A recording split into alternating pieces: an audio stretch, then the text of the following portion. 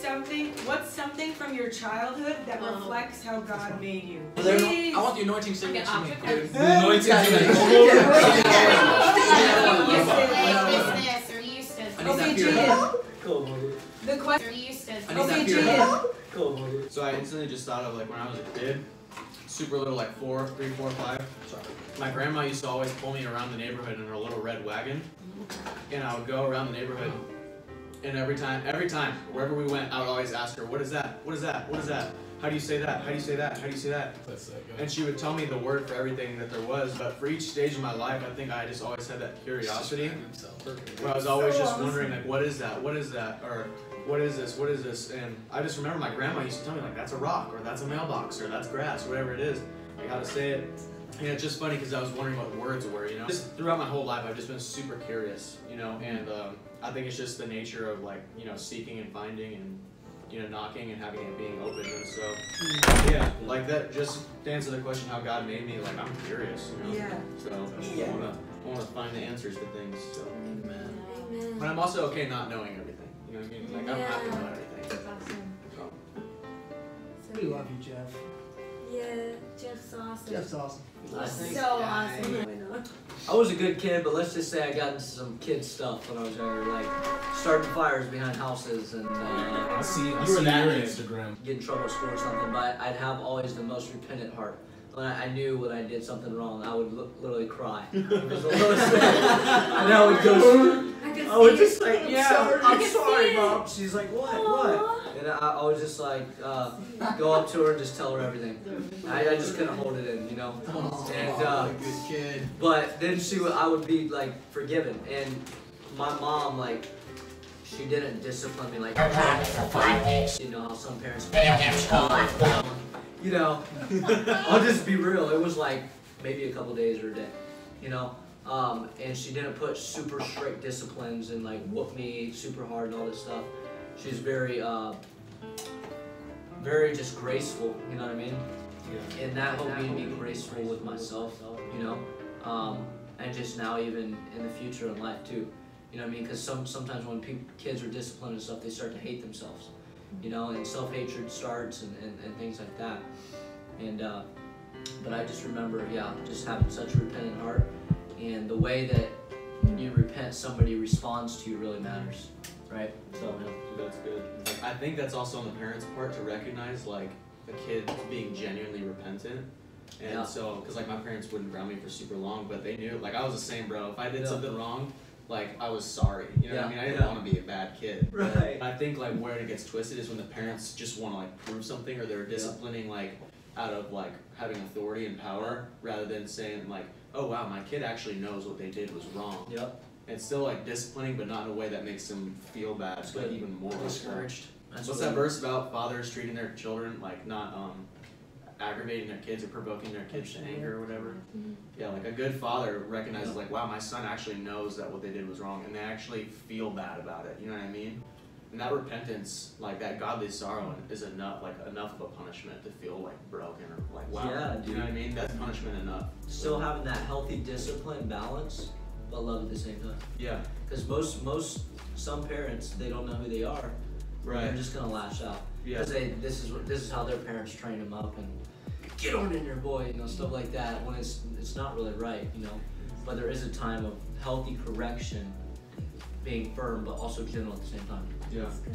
Oh, yeah, yeah. We did like adventures and stuff, and we'd find like the weirdest but coolest thing. Every now and then, like do this report thing, and I, I always like had my dad get out the camera and like I'd stand in front of it and be like, I was like, guys, this right here is a piece from the Apollo spaceship. It fell, and like I was making sure everybody knew. I always wanted all the information like I would find out. I always wanted people to know mm-hmm. you know and it's like now that you know we know jesus like we oh we want to tell everyone about jesus and like i know all this information i'm like don't you know like you know sharing jesus with my family like i was sharing the story about you know abraham and sarah and how they couldn't have a kid and my cousin's like i've never heard that before and i'm like Wow. it's in the Bible. And I was like, just open up the Bible. Like you'll get this information. She's like, I didn't even know that. I just love when like there's information that I have knowledge of and like sharing it with someone else and they're like, I have no idea, but that's what the Lord like called us to do, like to spread the love of Jesus to everyone, let people know what's going on. Like, you know, we're coming together, you know, getting close, and I love what you said about like, you know, um, all of us coming together and like enjoying being with each other because like that's the one thing like coming back from Israel, I was just like that's so true. Like we're supposed to be together. Like Jesus would literally walk by the Sea of Galilee and people were just following him. They didn't even have social media and all the people were coming together, you know? He had more so it's just so than I do. amazing. Um, what? He had more followers than I did. Wow, Jesus is really up there, man. It's just so amazing to, to like see how back in the day was different, you know? If you have a family and you get married, you build on top of the house. So like you always stay home, you always stay connected to the family. They're always coming together. Like that's That's amazing. Because we don't in America you look at that and we don't do that. like, Like we don't even do that. Like we don't even have a day of rest. You know, it's like go, go, go, go, go. Or like let me look at my phone. You know, even coming back and going to school and every student is like this. Yeah. I'm like trying to talk to someone. All right, Yeah. Seth just threw the phone away. But you know, it just reminds me of like Conviction. this and like being personal is so important. Way better. Oh yeah. It's so good. Cameron, it's yours.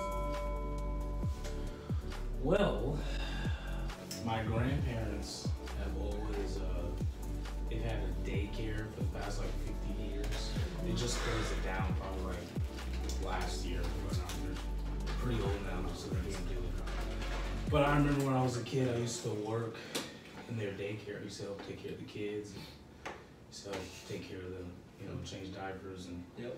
take the diapers out and all that. So I knew at a young age that I wanted to be a dad. So volunteered for it's called Joni and Friends. It's a camp where children with disabilities come. And I remember my mom, she made me go. She's like, "There's this camp. It's a Christian camp. You're going." Mm-hmm. And I told her, I said, "No, I'm not. You're tripping. I'm not going." And she said, "Yes, you are. And you're gonna leave your phone." And I was like, "No, I'm not. You're tripping. I'm not doing that." And she's like, "Yes, you are. You're going." And I remember attitude all the way up there. attitude all the way up there. And I get on campus and attitude changes. Wow. Wow. Felt the presence. Yeah, bro. Amen.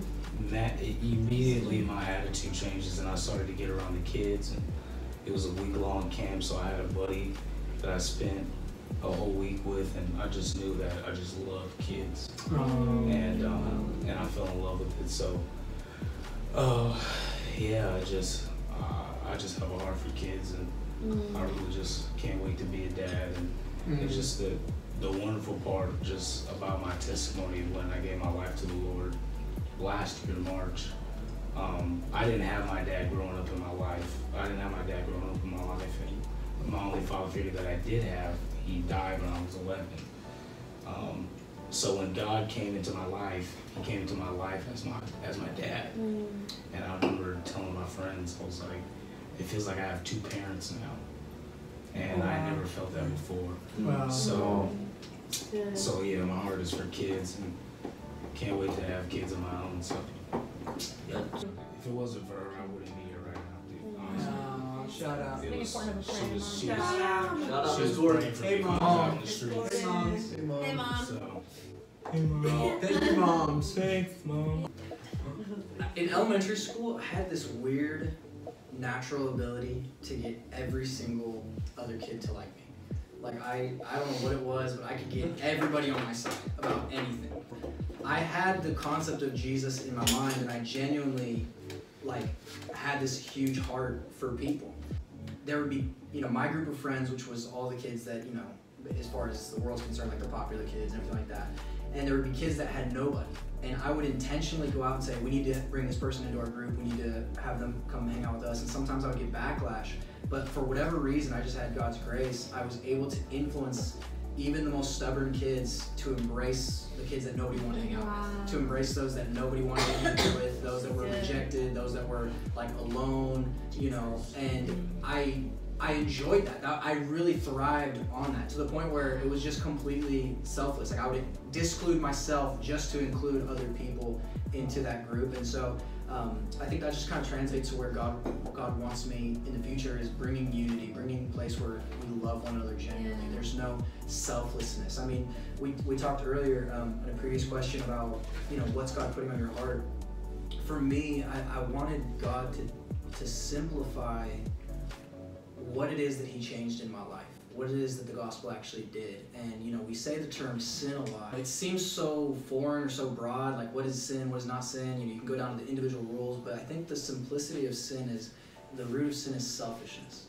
Everything that is every sin that exists, whether it's against your brother, whether against God, it's you being self-focused and selfish against either God or against uh, your brother and sister. And so I think you know from an early age, God really has always given me His grace to be selfless and not think about you know how I look or what I, what I'm benefiting from it, but how can I bring everyone else in for for their sake to make them feel loved, to make them feel accepted, and uh, and that translates to where He's going to take me going forward as well. So yeah. That's good, man. That's a good word.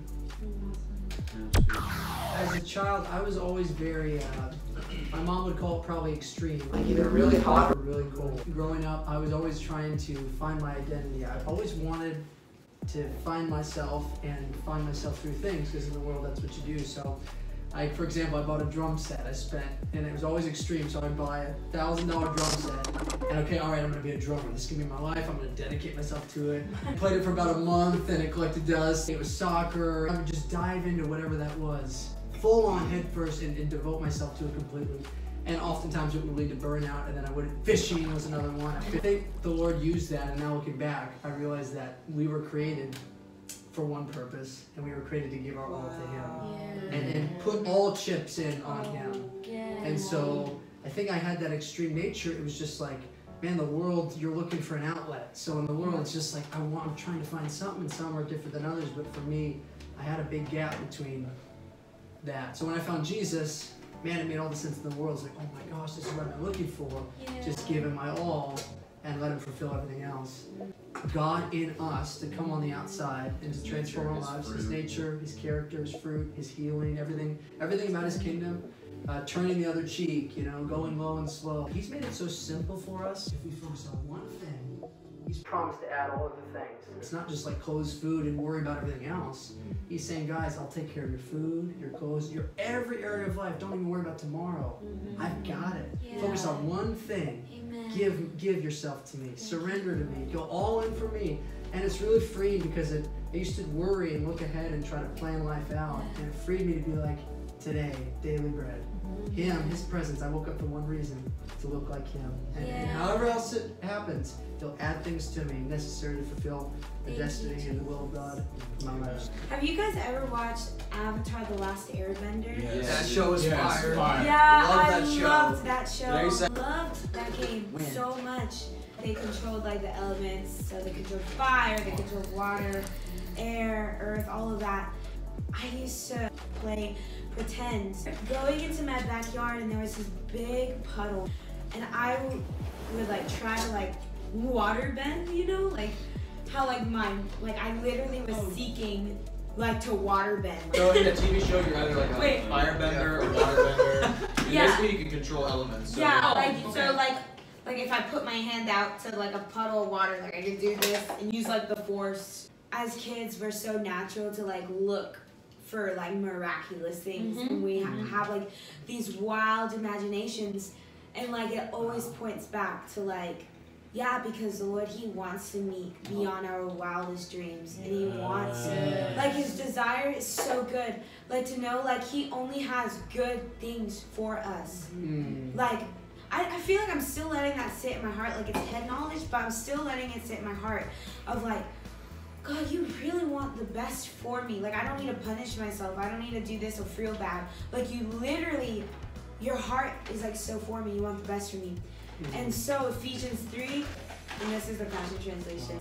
And I pray that he would unveil within you the unlimited limited riches of his glory and favor until never doubt God's mighty power to work in you and accomplish all this. Mm-hmm. He will achieve infinitely more than your greatest request, your mm-hmm. most unbelievable dream, and exceed your wildest imagination. Woo! Jesus. Yeah, I've always been kind of childlike in my life, and I feel like God is, is something that God kind of called me to, just to not take life too seriously, even when I was a kid. And I just remember going to the park and like swinging on the, on the swing set, and just feeling God's presence then, and just mm-hmm. His His joy and His peace, and going to family gatherings and sharing the gospel with people, even at like four or five years old. And I think mm. God was just showing me then, like as I get older, older, to you know carry His presence wherever I go mm. and just be childlike, you know, in our faith. Because I think oftentimes we get so serious, mm. and the Holy Spirit wants to move through us. He wants to to be there and part of our meetings. But you know, we're so serious, you know, I'm speaking to myself. It's like it, you know, maybe pushes them away sometimes. But I really, yeah, it's like the childlikeness, like taking that, you know, wherever we go. And just, you know, asking the Lord to come. And so even like now, like I'll go to the park by myself I oh. know it sounds like kiddish, but I'll put worship music on and I'll just go on the swings and I'll just get lost. Just like get lost in worship with Jesus. Oh, having a bad day. You know what? I'm gonna go spend time with, with my best friend, Jesus. And so oh. putting that music on and just swinging. Yeah, Hallelujah. yeah, all summer with him, you know, and it's like he'll encounter you, you know. If there's anything in your life that, you know, is troubling you, Jesus will encounter you because he loves you. And it's like, go back to, to being childlike. Yeah. You know, remember when you first met Jesus, your first love, and he'll be your love forever. There was so many things the Lord kept bringing to my mind because I feel like my whole life now is still like my childhood. Like my dad would show me something, I'm like, oh my gosh! And I'd like freak out and be like, whoa, look at that! And I'm like, everybody would get excited, like, oh my gosh, we're gonna! Like, and I'd be like freaking out and like going to everybody's face and grabbing their face, like, we got a fish! And like screaming in their face and like from everyone. And so I'm just like getting so jacked about nothing. I really feel like God's given me this perspective just of like seeing people rightly, even when division or something tries to come. Picture them as a, as a little child. Yeah. Amen. And I'm just like in my mind's eye right now. I'm just picturing everybody right now as just a little child. Like, you know, Katrina as a little child, Georgia. It relinquishes anger or any Yeah. division. It just oh, makes Oh, you want to come and bring unity to them. When you look at them at the place of little Cameron, as little Seth, like innocent, like that's how God sees us. you know, That's that's the how end. we Yeah, should- we believe the The best. best in them? Yeah. Yeah, you do when they're a child. You You just when believe look the at little kid choking. Yeah. Little Jack. yeah, maybe Jack. Get your Bye, everybody. Bye.